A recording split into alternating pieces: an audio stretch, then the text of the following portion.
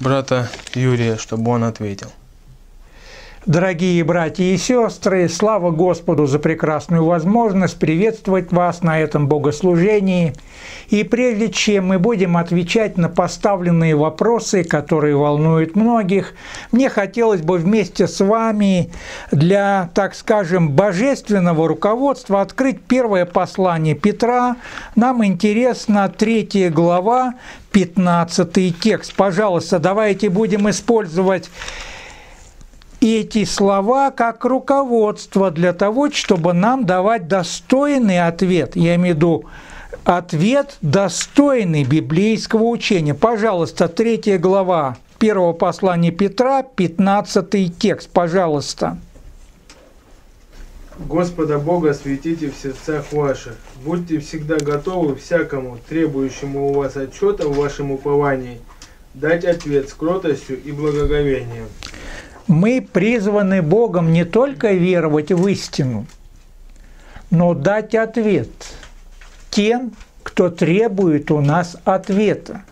И мы должны подтверждать свою веру на вернейшем пророческом слове.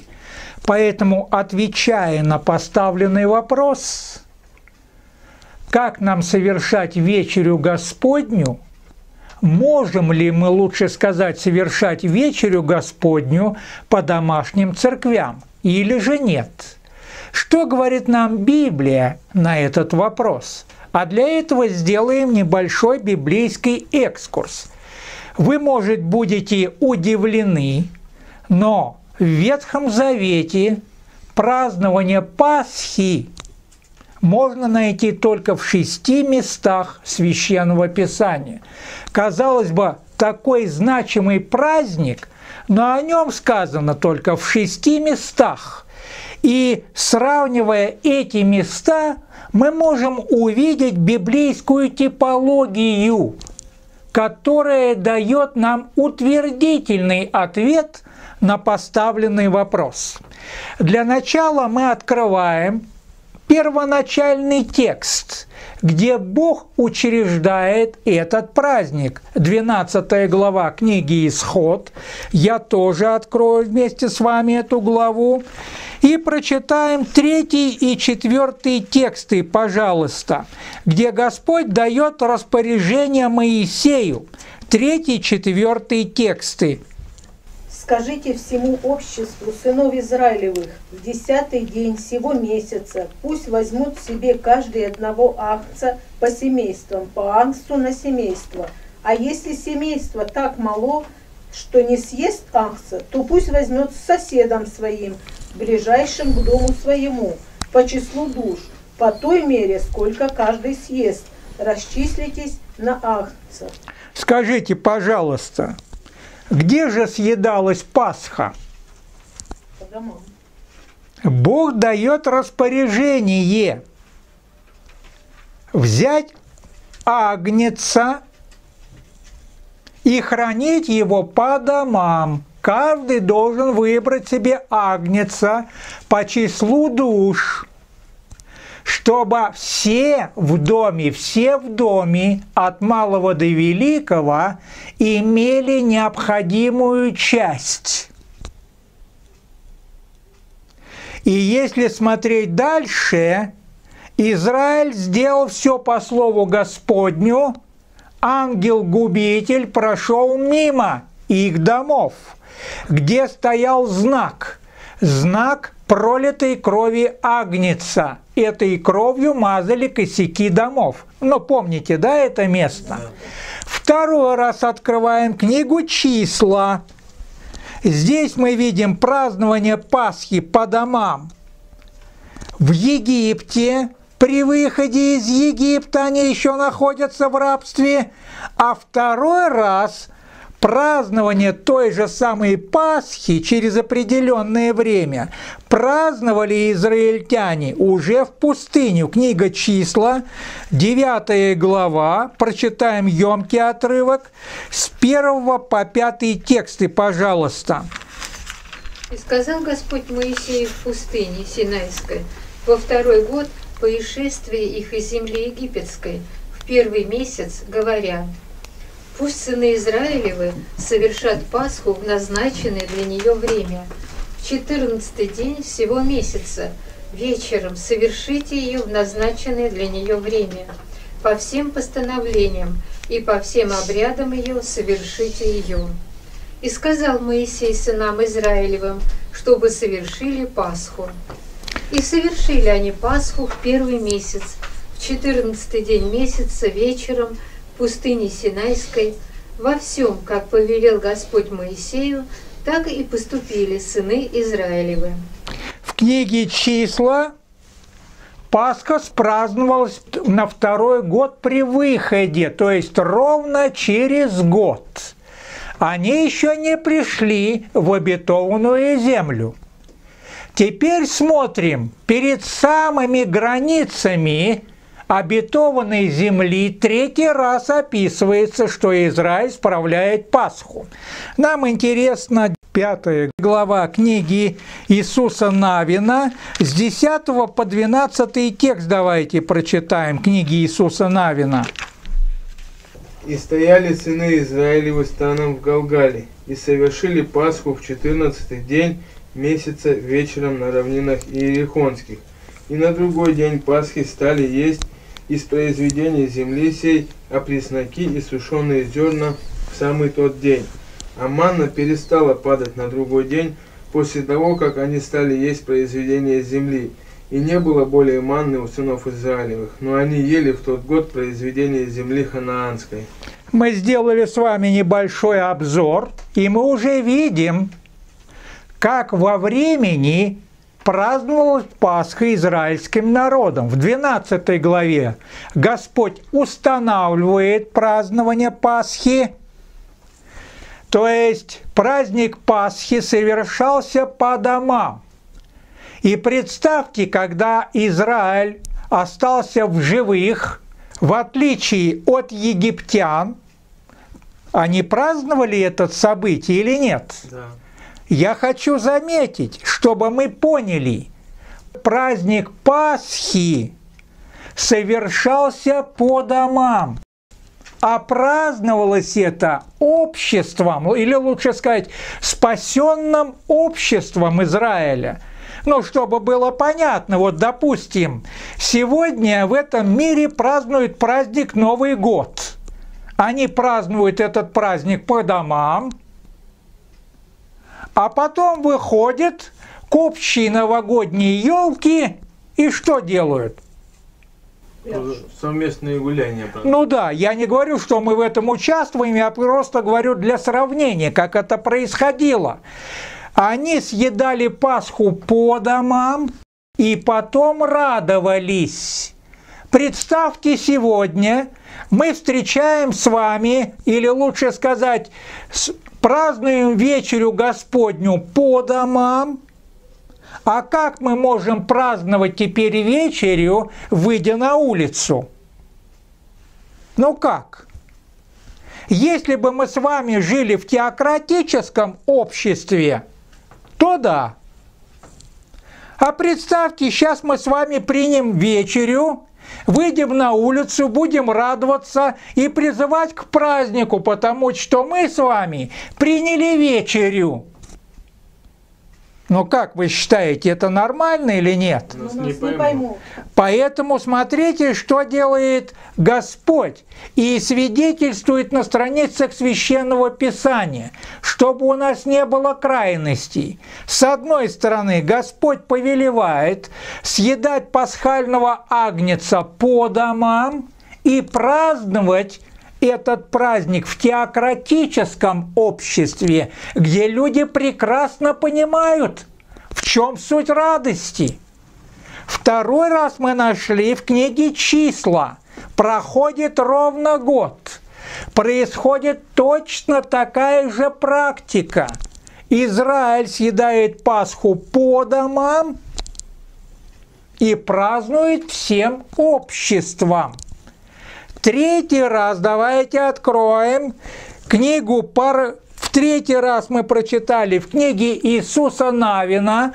Они еще не вошли в обетованную землю, но стоят на границе и празднуют Пасху. Теперь смотрим, когда они пришли в обетованную землю и построили храм до тех пор, пока они не построили храм. Нет ни одного практического описания, чтобы они праздновали Пасху Господню, хотя скини у них была. Но давайте откроем вторую книгу Парлипоменон, 8 глава, 13 текст. Чтобы по уставу каждого дня приносить всезашение по заповеди Моисеевой в субботы и в новомесячье, и в праздники три раза в год, в праздник опресноков, и в праздники седмин, и в праздник кущей. Когда люди построили храм во время Соломона, было принято, чтобы они совершали праздники, определенные Моисеем. И праздник опресняков – это праздник Пасхи, потому что опресноки совершались вместе с этим праздником. Когда Бог поручил праздновать Пасху, Он сказал, что да не будет у ваших домов ничего квасного. Помните? Да. И семь дней ешьте что? А пресноки.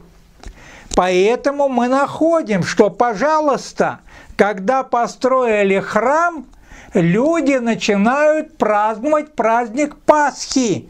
У них же было святилище, а практики празднования Пасхи не было, потому что они утратили. И дальше мы будем читать такую Пасху никто никогда прежде не совершал. Таким образом, делая обзор, мы находим серьезные, так скажем, проблемы, которые возникали на пути теократического общества. Но Бог в 12 главе книги «Исход», дорогие друзья, заповедал своему народу чтобы Пасха съедалась по домам. И нам нужно это запомнить и никогда не забывать.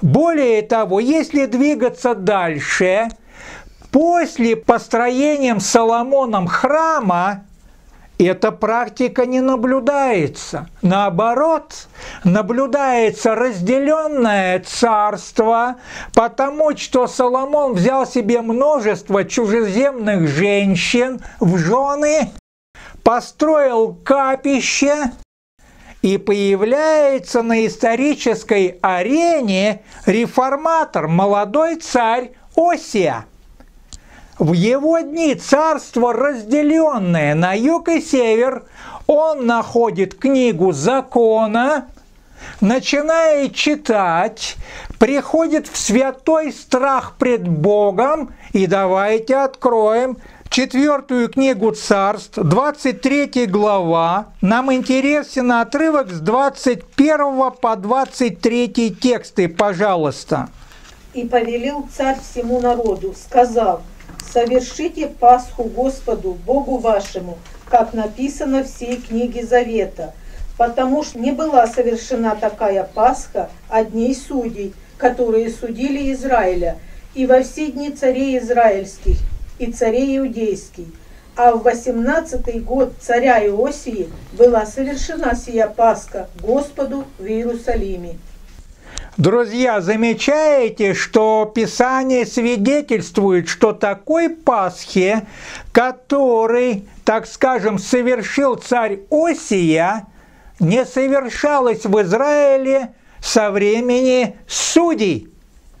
Я еще раз хочу сказать, что сатана бродит как рыкающий лев не только в последнее время – он это делал всегда и избивал теократическое общество с пути.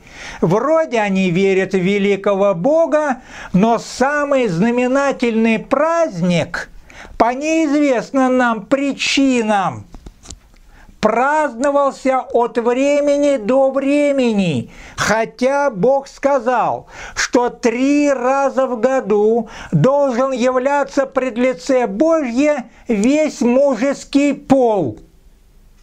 Но Писание говорит, что даже когда был построен храм, Но по причине разделения теократического общества такой Пасхи не совершалось до тех пор, пока Осия прочитал ясные и понятные слова в книге закона, то есть в Торе, в законе Моисея, и совершил эту Пасху.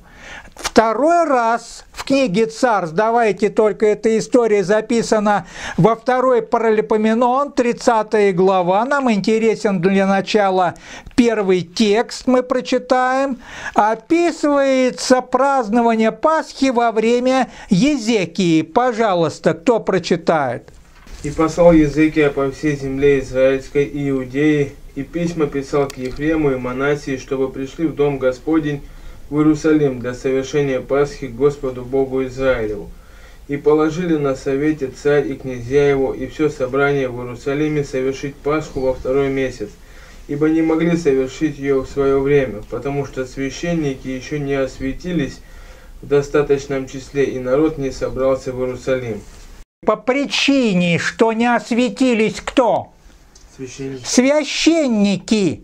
Совершается во второй месяц – это не нарушает закона Моисеева, потому что в законе Моисеева в книге числа отмечено, если какой-то человек по той или иной причине не сможет принять, так скажем, Пасхи в назначенное время, потому что для него будет длина дорога, или он был в пути, то он может совершить Пасху во второй месяц, в 14 день месяца. Находим? Езекия делает по этой причине праздник во второй месяц, не нарушая закона Моисея. Но хотелось бы отметить, что хотя Осия сделал реформу мы видим опять отступление Божьего народа от настоящей истины. И Пасха уже совершилась не в первом месяце, а во втором месяце. То есть, если мы сравниваем все эти места, мы находим, что люди не вполне себе давали отчет. Они не вполне доверяли вернейшему пророческому слову, и если посмотреть внимательно, то, как я говорил вам выше, эти шесть мест, которые описывают хронологически, как праздновалась Пасха Господня, напрашивается вывод сам собою. Для чего же нам нужен Новый Завет и Иисус как пасхальный агнец? Да только потому, что люди первого договора были неверны в условиях договора. И Иоанн Креститель пророчески провозглашают об Иисусе Христе по причине того, что люди нарушали принципы этого судьбоносного праздника. Давайте посмотрим, что говорит Иоанн Креститель. Первая глава Евангелия от Иоанна, 29 стих, пожалуйста, кто прочитает? На другой день видит Иоанн идущего к нему Иисуса и говорит, «Вот Агнец Божий, который берет на себя грех мира». Иисус приходит не только заключить Новый Завет, Он становится пасхальным агнецем, благодаря которому мы с вами сегодня совершаем вечерю Господню, но при этом мы вспоминаем страдания Иисуса Христа. Иисус исполнил весь закон. Он сказал, что Он пришел не нарушить закон, помните, да? Но исполнить.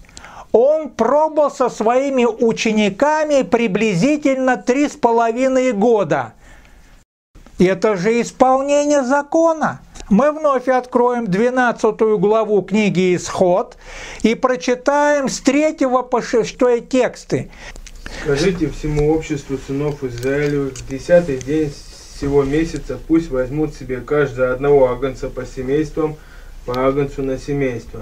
А если семейство так мало, что не съест агнца, то пусть возьмет соседом своим, ближайшим к дому своему, по числу душ, по той мере, сколько каждый съест, расчислитесь на агнца. Агнец у вас должен быть без порока, мужского пола, однолетний. Возьмите его от овец или от коз, и пусть он хранится у вас до 14 дня всего месяца. Тогда пусть заколет его все собрание общества израильского вечером. Спасибо. Агнец должен быть взят в десятый день первого месяца и хранится до какого времени? До 14 дня, то есть 11 число это первый день, 12 число это второй день, 13 число это третий день, а 14 числа, то есть после истечения трех дней, что нужно было сделать с Агнецем? Поэтому Иисус пробыл со своими учениками больше трех лет. Иисус в точности исполнил закон. И теперь мы смотрим, как он сам устанавливает праздник вечери. Как и где новозаветный Израиль должен праздновать вечерю Господню. Мы вместе открываем 22 главу Евангелия от Луки и для начала прочитаем отрывок с 7 и по 11 тексты включительно. Пожалуйста, давайте читать. Кто прочитает? Настал же день опресноков, в который надлежало заколоть пасхального акция – и послал Иисус Петра, и Иоанна, сказал, «Пойдите, приготовьте нам есть Пасху». Они же сказали ему, «Где велишь нам приготовить?» Он сказал им, «Вот при входе вашем в город встретится с вами человек, несущий кувшин воды. Последуйте за ним в дом, в который войдет он, и скажите хозяину дома, «Учитель говорит тебе, где комната, в которой бы мне есть Пасху с учениками моими? Спасибо. Где же Иисус праздновал Пасху? В доме, в комнате. Иисус, напоминаю, пришел не нарушить, но исполнить закон. Он говорит, что пойдите и приготовьте Пасху в комнате. И давайте смотреть, что Господь говорит в 15 и 16 тексте этой же главы, пожалуйста. И сказал им, очень желал я есть с вами сию Пасху прежде моего страдания, ибо сказываю вам, что уже не буду есть ее, пока она не совершится в Царстве Божьем. Иисус говорит, я хотел есть сию Пасху прежде моего страдания и добавляет, что он не будет есть ее до какого времени? Вопрос. Пока она не совершится. Оказывается, Пасха, истинная Богом предназначенная Пасха, должна исполниться где? В Царстве Божьем. Не на земле. В Царстве Божьем земное является образом небесного. Поэтому в книге Откровения много раз использовано выражение «агнец», закланный до создания мира. Это терминология Пасхи. И давайте откроем 19 главу книги Откровения и прочитаем отрывок с 6 по 9 текст, чтобы нам увидеть исполнение слов Иисуса. Он же сказал, что он не будет есть Пасхи сей, доколе она не совершится в Царстве Божьем. Вот в небе, в 19 главе книги Откровения, описывается исполнение слов Иисуса, которые он сказал в 22 главе Евангелия от Луки. Пожалуйста, с 6 по 9 тексты. И слышал я как бы голос многочисленного народа, как бы шум вот многих, как бы голос громов сильных, говорящих «Аллилуйя! Ибо воцарился Господь Бог Вседержитель, возрадуемся и возвеселимся и воздадим Ему славу, ибо наступил брак Агнца, и жена его приготовила себя. И дано было ей облечься весон чистый и светлый, весон же есть праведность святых. И сказал мне ангел, напиши, блаженны званные на брачную вечерю Агнца, и сказал мне, сии суть истинные слова Божьи. Спасибо. Замечаете, друзья, исполнение слов Иисуса, которые он сказал в 22 главе Евангелия от Луки. Там он сказал, что он не будет есть Пасхи сей, а здесь он будет вкушать вместе с нами на брачной вечери, говоря «совершилось». Это очень важный момент. И хотелось бы обратить ваше внимание на тот факт, что в небе, где происходит празднование вечери Господней, или, так скажем, совершится вечеря Господня – когда Божий народ соберется со всех концов, который, так скажем, разогнан врагами истины по всем уголкам этой земли, Бог соберет этот народ, который праздновал Пасху по домам, по библейским истинам. Бог обязательно соберет этот народ. И возникает вопрос, почему же в небе Иисус назван Агнецем? Как вы считаете, почему в небе Иисус назван Агнецем? В 22 главе под престола Бога и Агнеца текут воды жизни.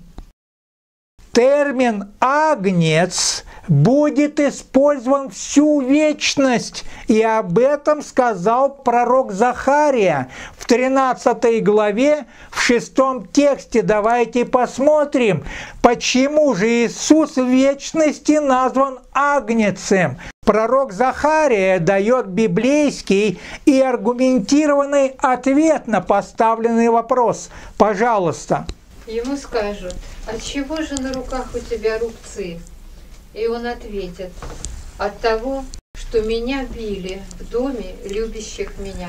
Это напоминает нам историю Фомы, когда Иисус воскрес из мертвых. Фома не верит, Иисус говорит, подойди сюда, посмотри на руки мои. Иисус показал ему рубцы и вложи, говорит, перст твой в ребра мои. Другими словами, эти раны будут вечности напоминать нам великую жертву пасхального агнеца. И мы спросим, почему же у тебя на руках рубцы? И он скажет, потому что меня били в молитвенном доме.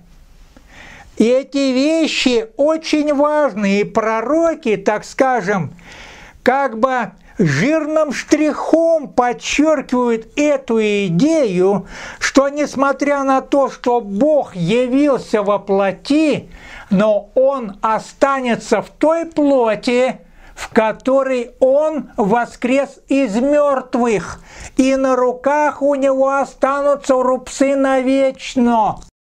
И пророк Исаия говорит в 9 главе, в шестом тексте, давайте посмотрим – Ибо младенец родился нам, сын дан нам, владычество на раменах его, и нарекут имя ему, чудный, советник, Бог крепкий, Отец вечности, князь мира. Здесь Иисус назван многими именами, в центре которого Бог крепкий. И самое главное, Исаия говорит, сын дан нам. Смотрите, с одной стороны, сын дан нам, но он Бог крепкий. Князь мира, Отец вечности. И вот это слово «сын дан нам» Если читать еврейский текст, это слово «дан» имеет, так скажем, отсчет во времени, но не имеет конца. То есть в какой-то момент Бог дает нам сына, который назван Богом крепким. И это слово «дан», он отдан нам навечно – не имеет конца. Поэтому, когда Иисус воскрес из мертвых, Он показал свои раны. И эти раны останутся навечно, как память о великой жертве Иисуса Христа. И в 25 главе пророк говорит, давайте мы откроем 25 главу книги пророка Исаии, нам интересен отрывок с 6 и по 9 тексты включительно. Пожалуйста, кто прочитает? И сделает Господь Саваоф на горе сей для всех народов трапезу из тучных яств, трапезу из чистых вин, из стука костей и самых чистых вин. И уничтожит на горе сей покрывало, покрывающие все народы, покрывало, лежащие на всех племенах. Поглощена будет смерть навеки, и отрет Господь Бог слезы со всех лиц, и снимет поношение с народа своего по всей земле, ибо так говорит Господь. И скажут в тот день, вот Он, Бог наш, на Него мы уповали, и Он спас нас. Сей есть Господь, на Него уповали мы, возрадуемся и возвеселимся во спасение Его. Ну давайте отметим некоторые судьбоносных моментов из этого пророчества. Во-первых, ожидающие избавления говорят, вот Бог наш, на Него мы уповали, и Он спас нас. Когда Иисус приходит второй раз на эту землю, эти слова адресованы Ему. Верующие, поистину верующие люди говорят Иисусу при втором пришествии, вот Бог наш, на Него мы уповали, и Он спас нас. Второй момент, на который бы я обратил внимание, Здесь говорится, и уничтожит Господь на горе сей покрывало, лежащее на всех народах. Слово «покрывало» тесно связано с греческим словом «апокалипсис», с книгой Откровения. Сегодня люди думают, что они что-то делают во тьме. Сегодня многие поклоняются зверю в этой тьме и думает, что никто не видит.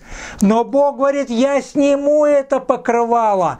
Поэтому для народа Завета, который празднует Пасху Господню в библейском ключе, разделяя радость по домам, потому что мы не живем, в отличие от Израиля, в теократическом обществе, и нас на улице не поймут в связи с чем мы празднуем вечерю Господню. Мы можем разделить эту радость между собою.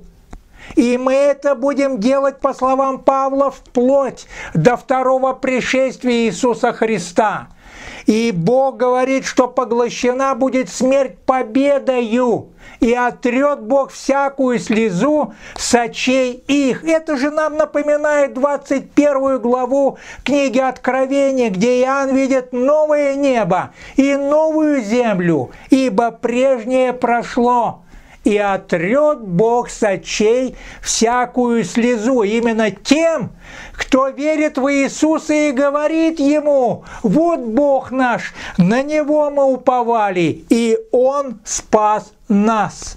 Другими словами, мы, когда делаем небольшой библейский обзор, мы можем прийти к библейскому выводу – и самое главное, чтобы ответить на поставленный вопрос, потому что, несмотря на то, что мы делаем уже не первую программу, проводим не первое служение, по факту этого вопроса все равно люди задают вопрос. И я надеюсь, чтобы поставить точку на этом вопросе, давайте откроем 20 главу книги Деяний святых апостолов и посмотрим, как апостолы совершали вечерю Господню. Нам интересен шестой, седьмой тексты, пожалуйста.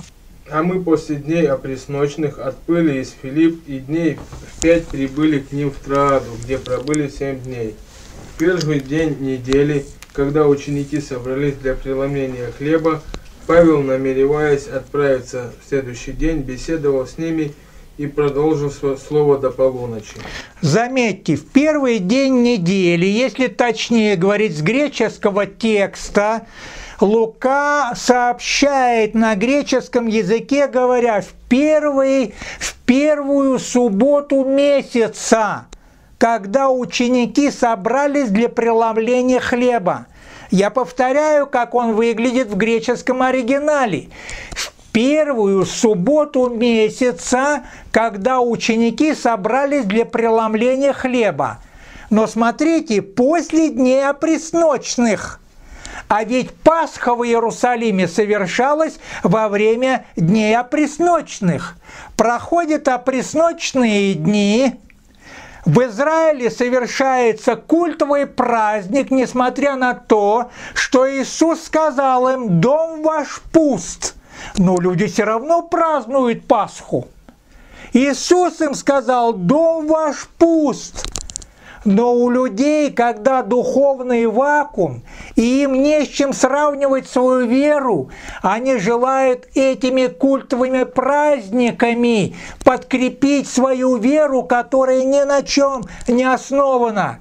Апостолы После дня пресночных не сказано, что они праздновали Пасху в Иерусалиме. Они собираются в первую субботу месяца и совершают вечерю. Где они это делают? Дома, не в Иерусалиме. Я, насколько помню, в этом отрывке Павел продолжил речь до полуночи, да? И там один молодой человек по имени Евтих упал с третьего жилья. То есть вечерю они принимали вышней горнице. Это же нам говорит, что мы свободны от всех культовых собраний. И Иисус говорит, где двое и трое собраны во имя Мое, что там происходит? Можем ли мы с вами сегодня собраться во имя Иисуса и принять вечерю Господню? Кто нам это мешает? нам мешает, так скажем, руководство религиозной организации, потому что они делают от себя все возможное, чтобы привязать людей к церковным лавкам. А Иисус говорит, нет, его дети должны познавать истину. И истина что сделает с нами? Свободно. Она сделает нас свободными. Но другой вопрос – кто же может все-таки совершать вечерю? Принимать, понятно, по домам каждый, кто желает во имя Иисуса вспомнить великий подвиг Его страданий. Каждый верующий в Иисуса, повторю, может совершать вечерю Господню – когда только захочет, на том месте, которое приемлемо для этого судьбоносного служения. Но другой вопрос, кто может проводить вечерю Господню? А для этого мы вместе откроем книгу Деяний, она у вас уже открыта. Нам интересна шестая глава. Давайте для начала прочитаем отрывок с третьего и по шестой тексты шестой главы книги Деяний святых апостолов. Пожалуйста. Итак, братья, выберите из среды себя семь человек, изведанных, исполненных Святого Духа и мудрости, их поставим на эту службу. А мы постоянно пребудем в молитве и служении Слова. И угодно было это предложение всему собранию, и избрали Стефана – мужа, исполненного веры и Духа Святого, и Филиппа, и Прохора, и Никанора, и Тимона, и Пармена, и Николая Антиохийца, обращенного из язычников. Их поставили пред апостолами, и сии, помолившись, возложили на них руки. Я понимаю, как сегодня используют этот отрывок, но давайте не будем спекулировать текстом, а будем прославлять Господа в правильном понимании всего, что написано в Священном Писании. Когда ученики, или лучше сказать последователи Иисуса стали умножаться, у них возникли большие проблемы.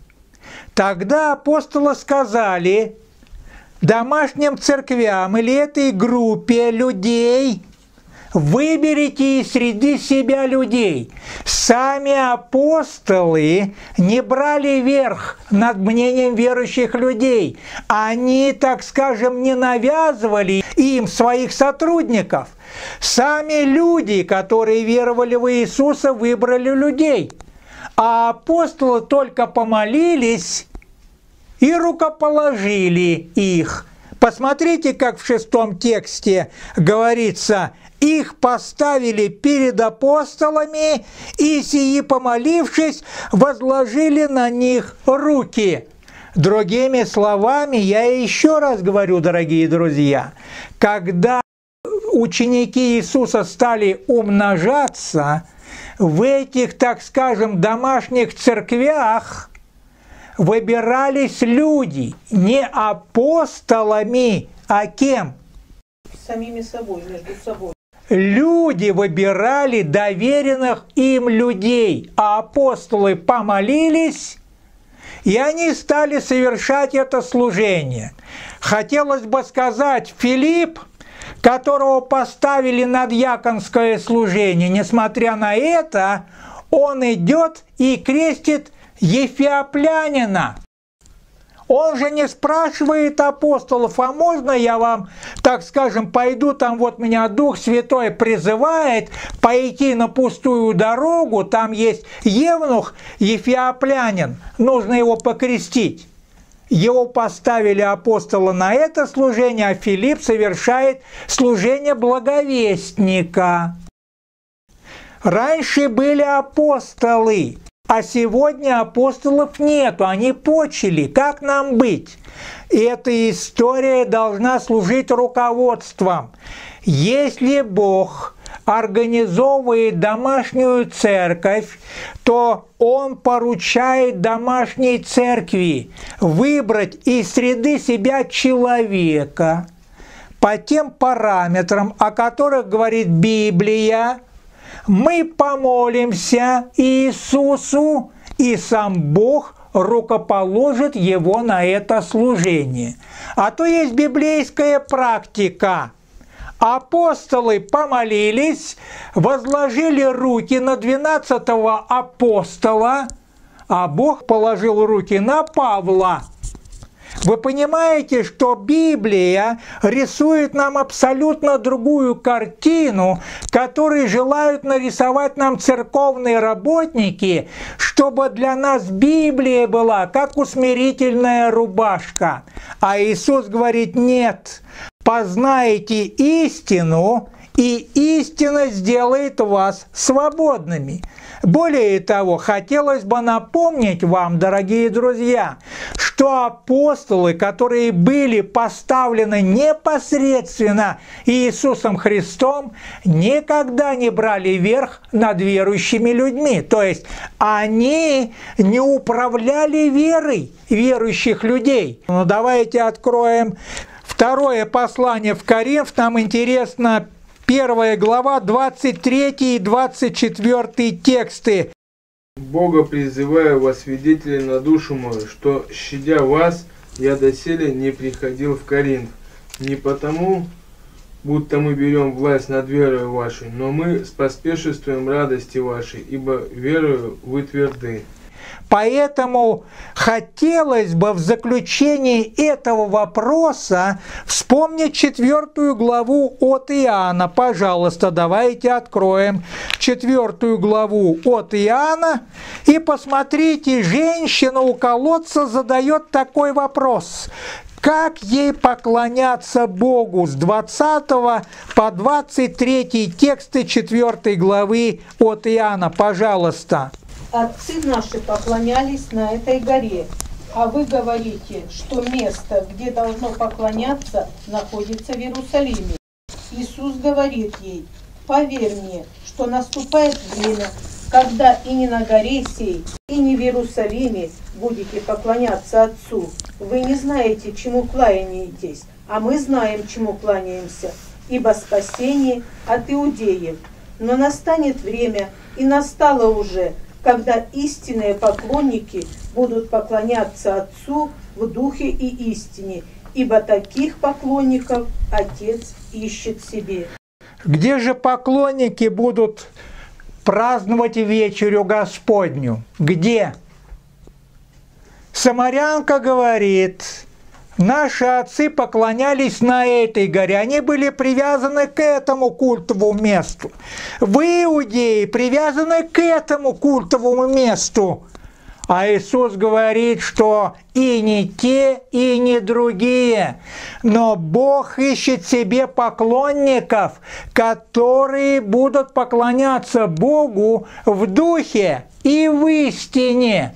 То есть, если мы видим, что мы можем совершать вечерю, когда только захотим, на том месте, которое мы изберем по благословению Господню, можем мы совершать вечерю или нет? Да. Кто может нам назначать место или время?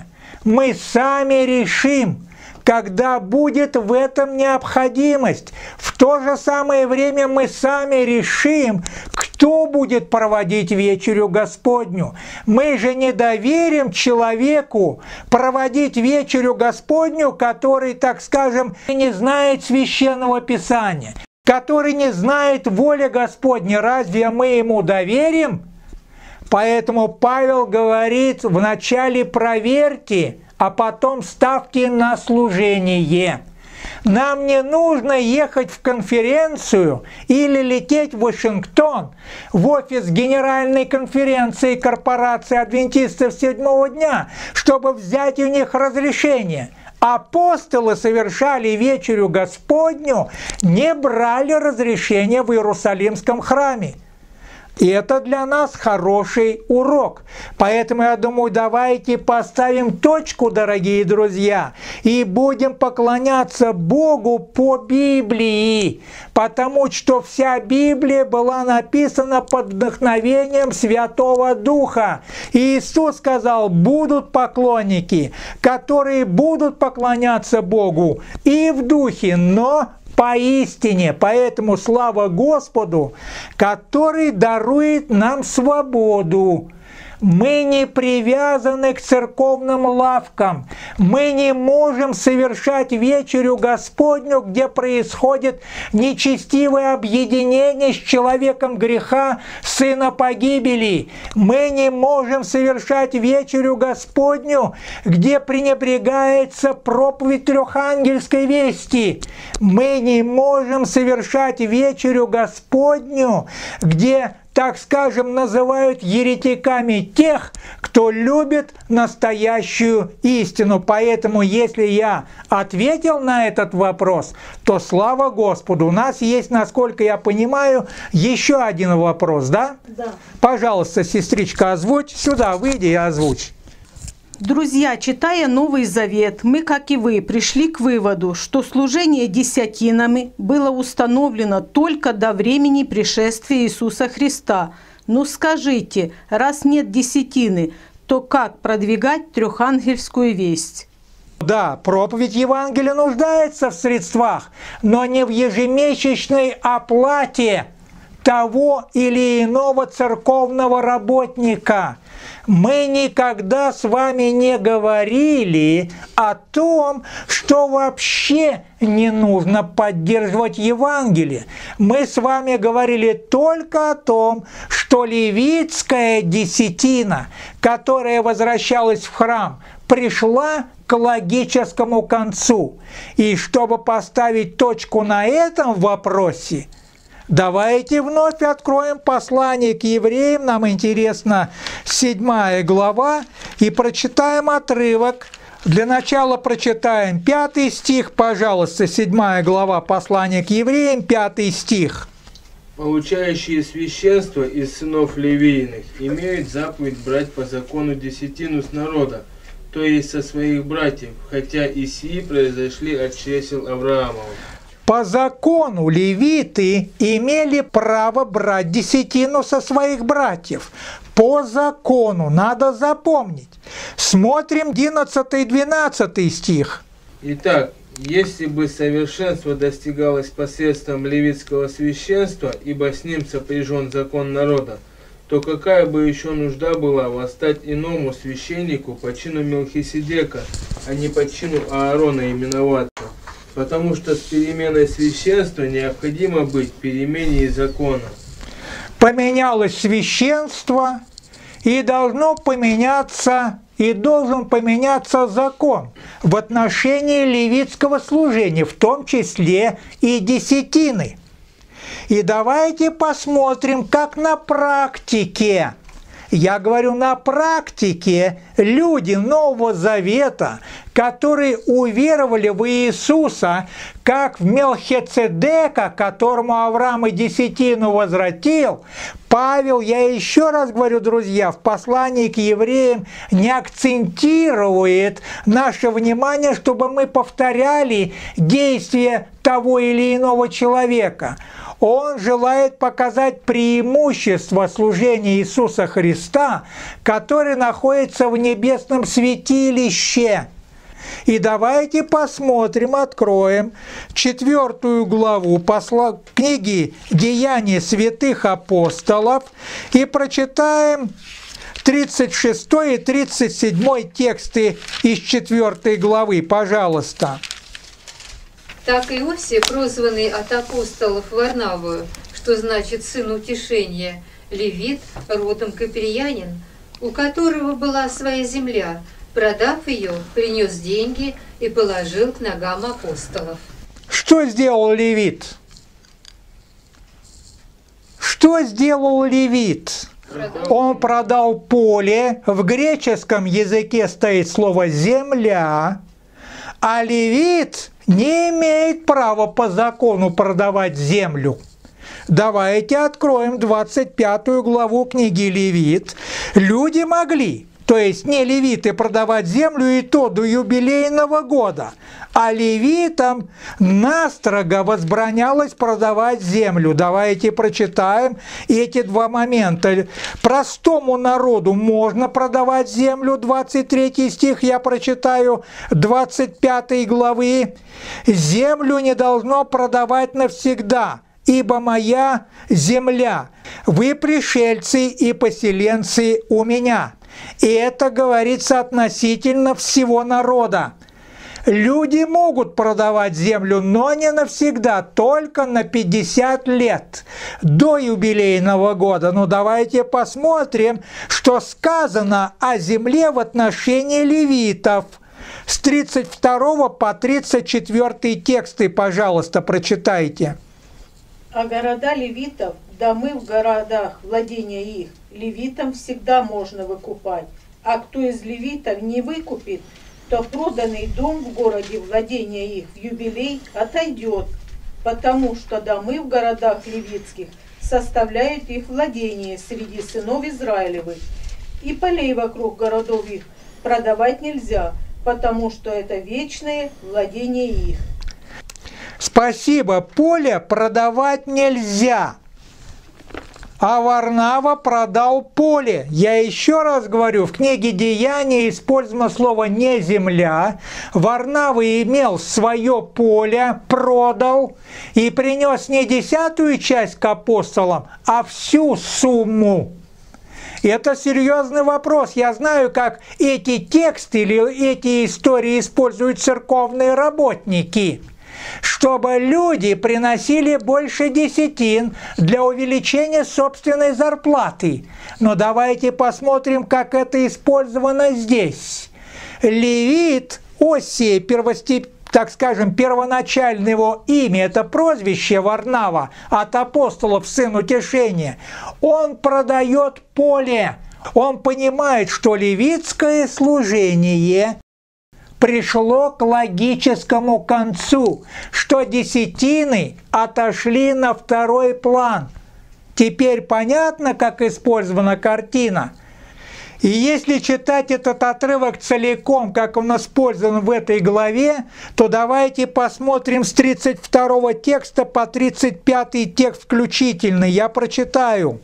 «У множества же уверовавших было одно сердце и одна душа, и никто ничего из имения своего не называл своим, но все у них было общее. Апостолы же с великою силой свидетельствовали о воскресении Господа Иисуса Христа, и великая благодать была на всех их. Не было между ними никого нуждающегося, ибо все которые владели землями или домами, продавая их, приносили цену проданного и полагали к ногам апостолов. И каждому давалось, в чем кто имел нужды. И только потом, с 36 текста, так скажем, речь идет о действии левита по имени Варнава.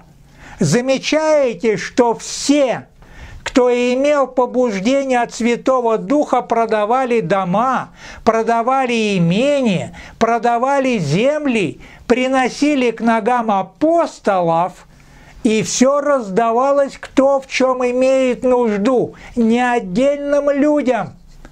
Вы заметили? Все, кто участвовал, так скажем, в организации христианской церкви, всем давалось, кто в чем имеет нужды. Практика из деяния святых апостолов в корне отличается от современной практики религиозных организаций. Сегодня десятинами пользуются исключительно какие-то особые люди, хотя все общество Нового Завета названо царством священников. Почему же одним дается, а другие ничего не получают, но наоборот отдают особым людям? Где такая практика есть в Новом Завете?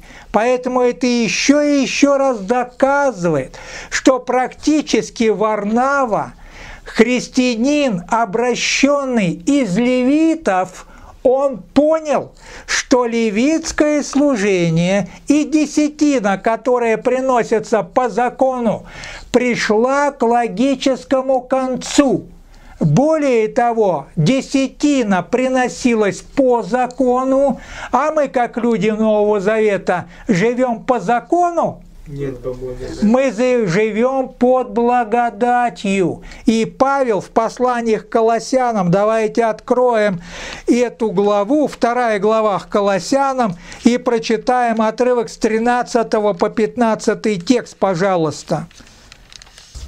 И вас, которые были мертвы во грехах и в необрезании плоти вашей, оживил вместе с ним, простив нам все грехи, истребив учение, бывшее о нас рукописание, которое было против нас, и он взял его от следы и пригвоздил ко Христу, отняв силу начать и властей, и властно поверх их позору, восторжествовав над ними собой.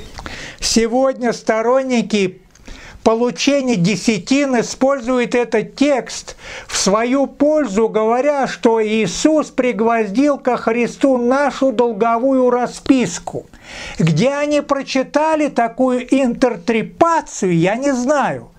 Здесь написано, что Иисус пригвоздил ко Христу рукописный закон – может быть, в греческом имеет косвенное значение какой-то долговой расписки. Мы должники, но этот долг выкупил Иисус. Давайте посмотрим, что цитирует Павел. Почему он пришел к этому выводу, что смерть Иисуса Христа поставила точку на рукописном законе, и он пригвоздил его ко Христу. Этот закон, Павел говорит, рукописный закон, служил против нас. Иисус освободил нас от этого закона и стал сам за нас поручителем. Для этого открываем. Откройте, пожалуйста, 31 главу книги Второзакония, если вам не трудно, и прочитаем с 24 по 26 тексты включительно. Когда Моисей вписал в книгу все слова закона сего до конца, тогда Моисей повелел левитам, носящим ковчег завета Господня, сказав, «Возьмите сию книгу закона и положите ее одесную ковчега завета Господа, Бога вашего, и она там будет свидетельствовать против тебя».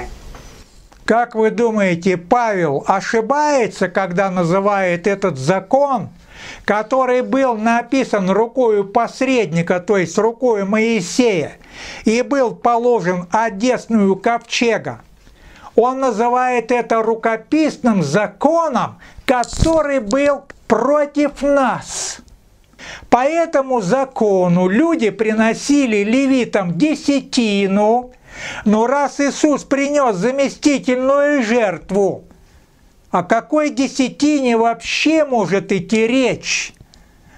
Не может об этом идти речь точно так же, как речь не может идти об обрезании. Представьте, человека, верующего в Иисуса, обрезывает крайнюю плоть.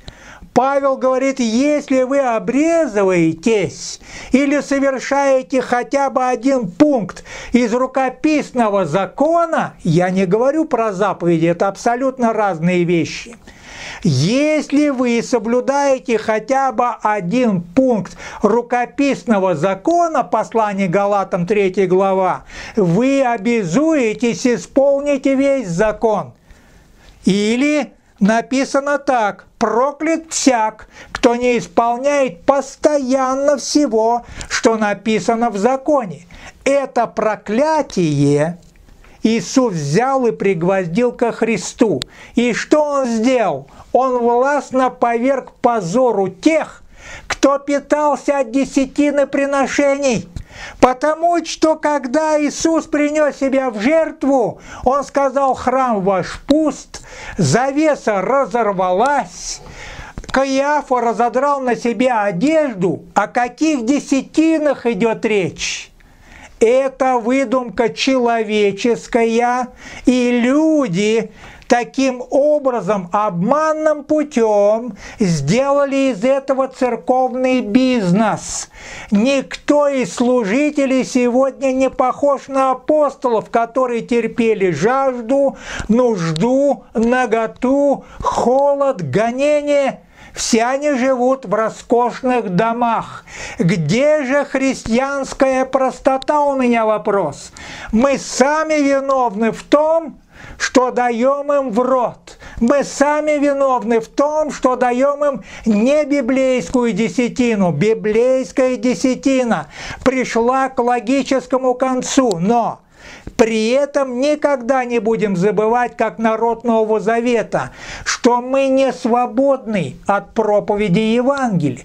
Мы должны участвовать в распространении Евангелия и трехангельской вести. А для этого Бог усмотрел новозаветное служение. То есть добровольные приношения. А для этого давайте откроем второе послание в Коринф. Нам интересно 9 глава. Пожалуйста, седьмой текст. Кто прочитает нам этот текст? Текстов по этому вопросу очень много, но мы возьмем один текст, чтобы, так скажем, поставить точку на этом вопросе. Каждый уделяй по расположению сердца, не с огорчением и не с принуждением – ибо добровольно дающего любит Бог. Таким образом, мы участвуем в проповеди Евангелия.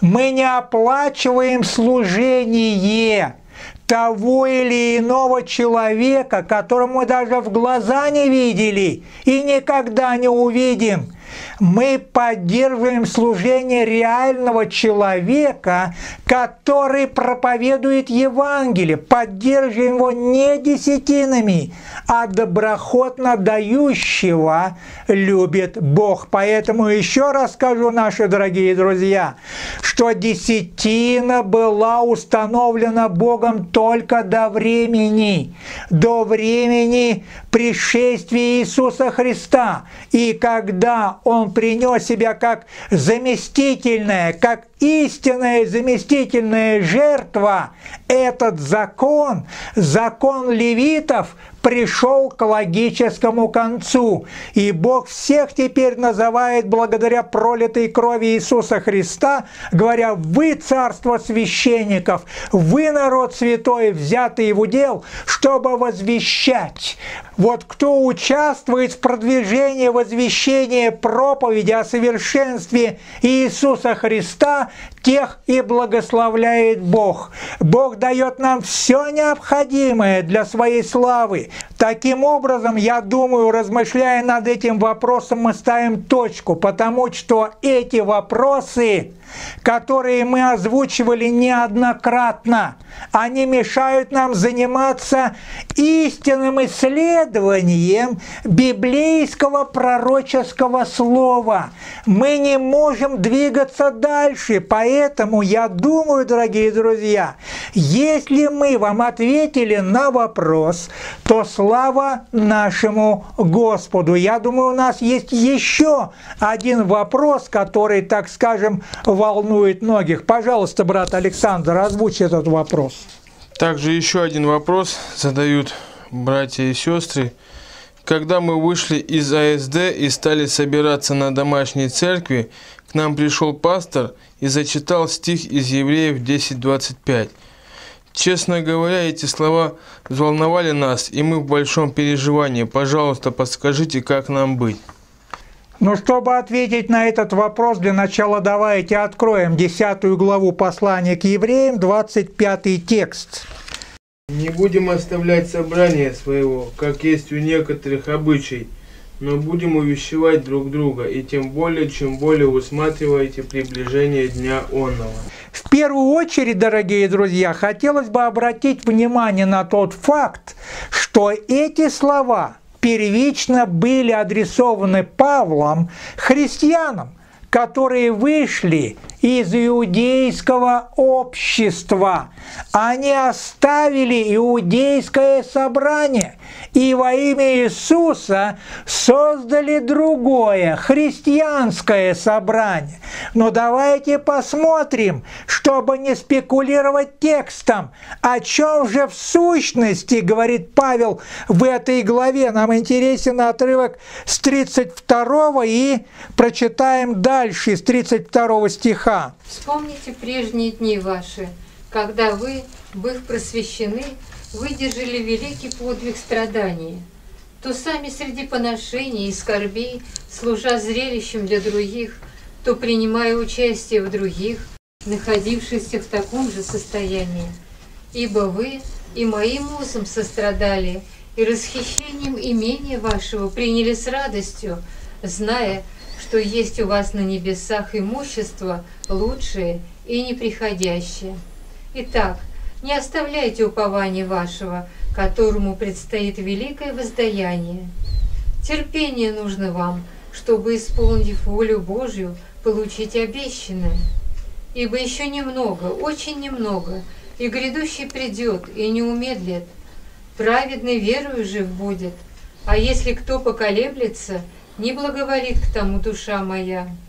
Мы же не из колеблющихся на погибель, но стоим в вере к спасению души. Спасибо. Павел говорит это людям, которые уверовали в Иисуса, а теократическое общество, в центре которого, так скажем, находится, во внимании которого находится храм Господень, они, подстрекаемы своими руководителями, унижали христиан, грабили, оплевывали и угнетали. Павел говорит им, вы собрались во имя Иисуса Христа, Вы правильно сделали. Вы, говорит, выдержали великий подвиг страданий. Смотрите, под натиском сатаны, который гонит вас руками, заметьте, руками не язычников, а чьими руками? Теми, кто исповедует веру в живого Бога но превратно. Они, говорит, гонят вас. Они желают, так скажет, сорвать ваши собрания, которые собраны во имя Иисуса. Этих собраний не оставляете. Разве сегодня руководители теократического общества не клевещут на домашние церкви, которые образовал сам Иисус, потому что произошло великое отступление, точно так, как это совершалось в то время, во время апостола Павла – Замечаете, как можно извернуть текст? Но когда мы читаем Библию в ключе Библии, мы понимаем, что Павел нам говорит, людям, которые вышли из религиозной культовой организации, где все совершается как в инкубаторе по очереди, толкая друг друга, им это не нравится – но этот текст они говорят нам, не оставляйте собрание вашего. Но если я повторюсь, дорогие друзья, мы читаем Библию в ключе Библии, то картина ясна.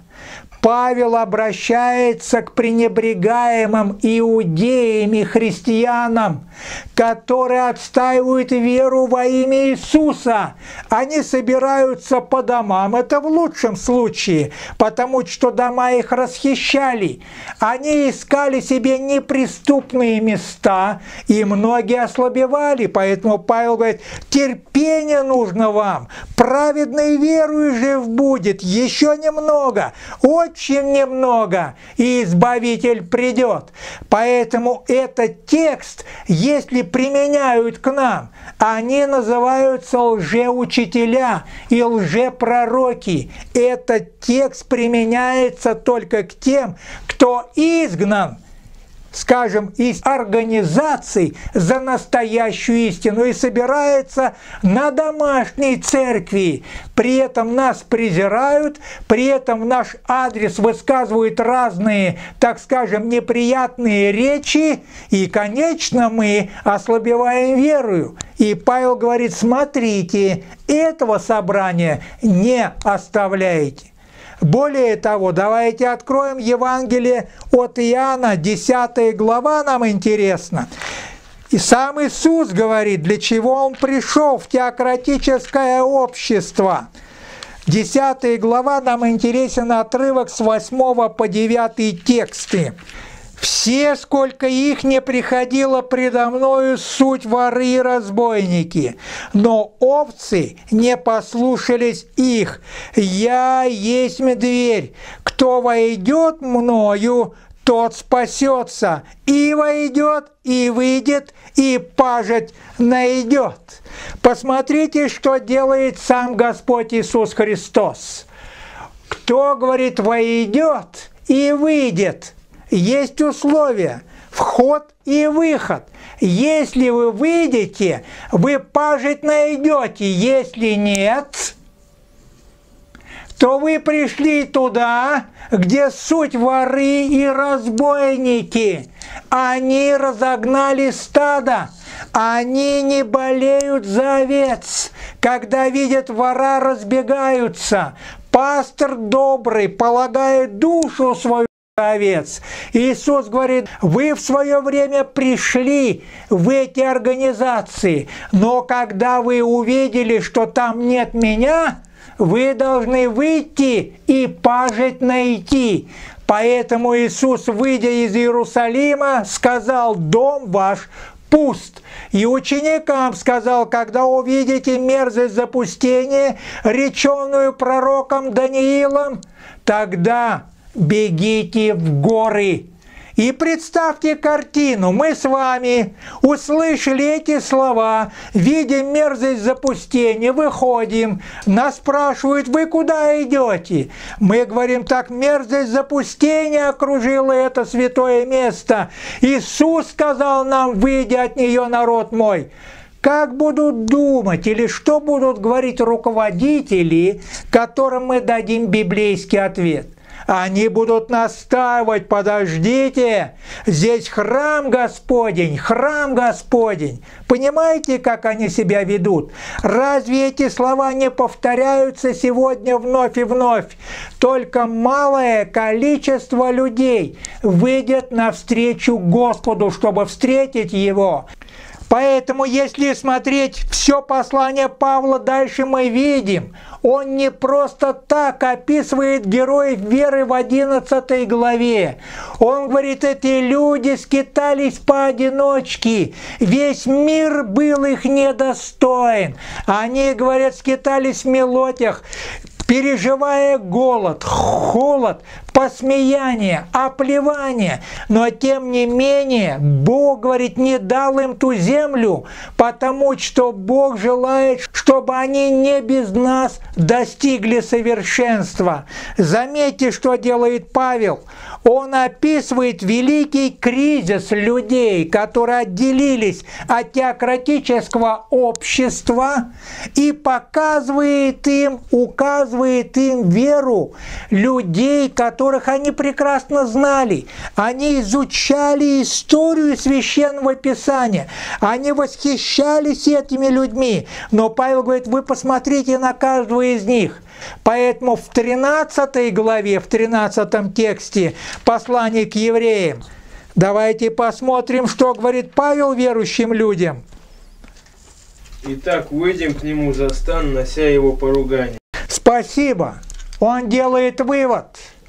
Те, кто собрался в домашней церкви, мы не знаем на то время, где они собирались. Он им говорит, не оставляйте этого собрания. И говорит, отделитесь от этого общества, которое распяло Иисуса. Отделитесь от этого общества, которое живет под законом, а не под благодатью. Выйдем к нему за стан и будем носить его поругание, подобно героям веры. Их весь мир не был достоин, они несли на себе Христово поругание. Поэтому наша жизнь в пророчестве описана в 14 главе книги Откровения. Давайте откроем книгу Откровения, 14 главу, и посмотрим для начала первый текст, пожалуйста, кто прочитает. И взглянул я, и вот Агнец стоит на горе Сионе, и с ним 144 тысячи, у которых имя отца его написано на челах. 144 тысячи, которые вышли из всех религиозных организаций, они следуют за Агнецем. Они вышли к нему за стан, неся его поругание и посрамление, прославляя Бога новой песней победы, потому что, находясь находясь в религиозных организациях, мы находились в усмирительной рубашке церковных традиций. Но когда мы познаем истину, истина делает нас свободными, но работникам не нравится наша библейская свобода. Они называют нас еретиками, раскольниками, так если мыслить такими категориями, то сам Иисус был раскольником теократического общества. Он им сказал, не думайте, что я принес вам мир. Не мир, а что? Мир. Но разделение. Апостолы были называемы, так скажем, руководителями теократического общества, возмутителями спокойствия. Какие еще нам нужны библейские доказательства, чтобы укреплять свою веру, ожидая второе пришествие Иисуса, так скажем, не на культовых площадках, крича вместе со всеми «Аллилуйя, Аллилуйя», а по домашним церквям сидеть у ног Христа, вспоминая слова пророка Исаии «Я сказал вам, Сила ваша сидеть спокойно в тишине и уповании спасения Твое. Поэтому слава Богу за искупленный народ, который выйдет из всех религиозных организаций и будет следовать за Агнецем. У них есть потрясающая характеристика в четвертом тексте, в 14 главе. Давайте прочитаем.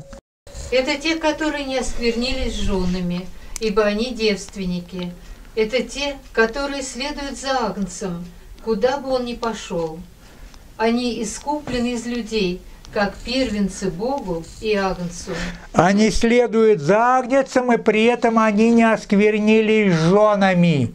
Кого же в книге Откровения представляет символ жены? Церковь. Они следуют за Агнецем 144 тысячи, искуплены от всех языков, народов и племеней, следуют за Агнецем. И когда эти люди выходят из этих организаций, их называют еретиками, их называют, так скажем, возмутителями спокойствия. Ну давайте посмотрим, как Бог называет этих людей в пятом тексте. Я прочитаю. «И в устах их нет лукавства, они непорочны пред престолом Божьим». Давайте будем честными, дорогие друзья, сами к себе.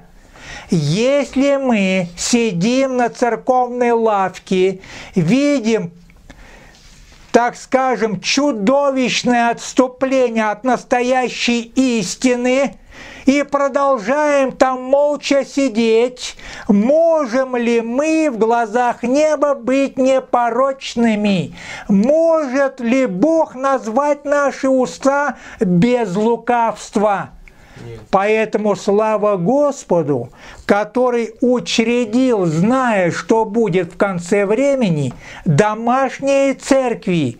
Прочитайте книгу деяний святых апостолов и все послания Павла, и вы увидите, что Бог благословляет домашние церкви. Бог желает преподавать сам вечерю в домашних церквях где собрались люди, которые воздыхают о всех мерзостях, которые совершаются в Израиле. Мы не можем остаться на лавках этих организаций, поэтому слава нашему Господу за то, что у нас есть вернейшее пророческое слово.